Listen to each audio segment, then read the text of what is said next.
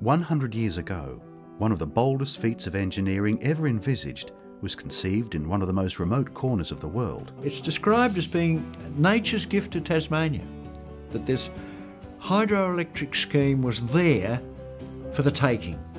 Thousands of people, many displaced by hard economic times, war and strife, came from all over the world, not only to help build a mighty power scheme, but to make Tasmania their home. For the first time in my life, I got a own house that I felt that I could call it home, my own home.